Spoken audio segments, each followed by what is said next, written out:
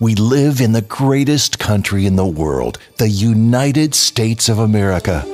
To celebrate our blessings and the freedom that we enjoy, let's listen and be inspired as children from our community recite our beloved Pledge of Allegiance.